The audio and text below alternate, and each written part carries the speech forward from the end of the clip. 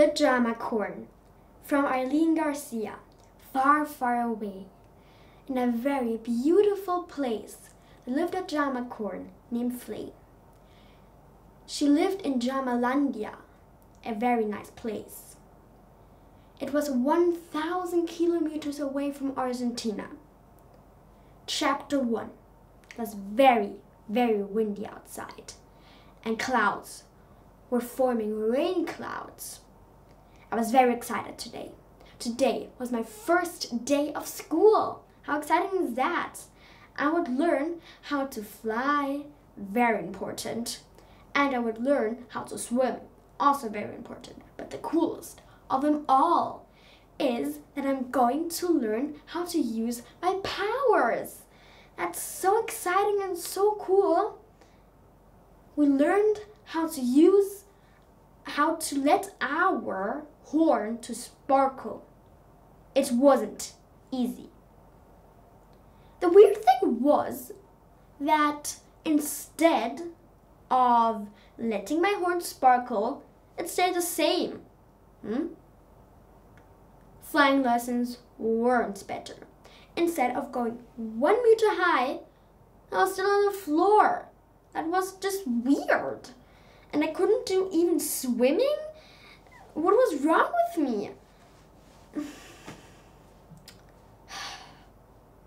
I was very cross off myself.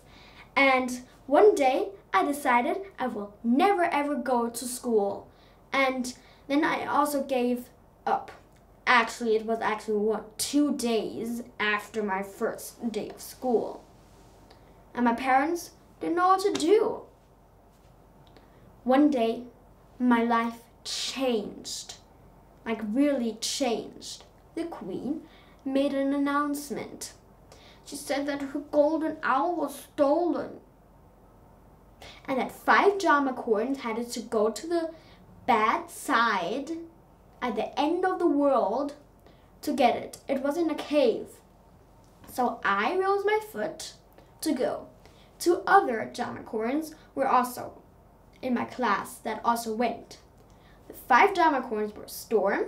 His powers were air, very cool. Me, flame. I had the powers for fire. Winter, she had the powers of ice. Wasn't that cool? And then Bella had the powers of earth. And the last one is Firefly. She had the powers of fire. Very cool. Okay, I have a plan, guys. Me. So, me, oh, I, and Bella are going to go to the cave and distract the knights. Then winter comes, and she then will do a ginormous, cool, cool, cool, cool ice performance so that the that the knights will be poof. And Firefly and Fi and Flame are going flying into the cave and ta-da! The queen will be so happy. And then we will be so happy also. Yeah. Okay, let's go. I wasn't sure if that plan would work. But I was a little bit maybe scared. That's, yeah, to say something. In the next moment, Bella and Storm rushed to the knights and said something, I don't know. Then Winter came and did the best ice performance ever. It was very cool. Okay, you go first, whispered Firefly in a tiny, tiny voice. I can't fly, I said in a very scratchy, very scratchy voice and tiny voice. What? said Firefly in a very big voice. The knights turned around and looked at us. If we were dragons, it wasn't a nice look. Uh oh, I'm going. Bye, said Firefly and rushed and actually flied away. Bella, Winter, and Storm followed him and they left me behind. And I was so unhappy and so cross that I couldn't do anything, not even swimming, not even using my powers, not even flying.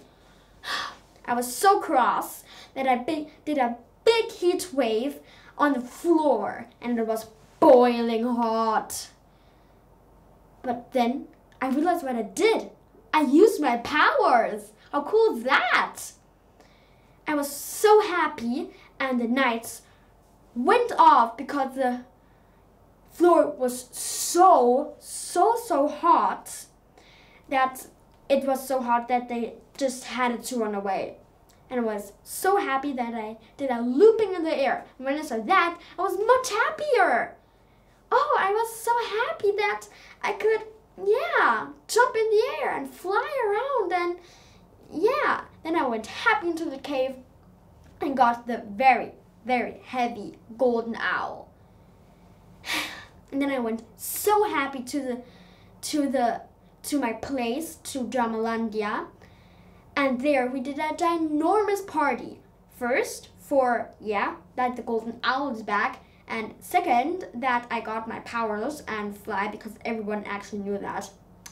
And I was so happy. And after that day, I knew you should never ever give up on yourself. The end.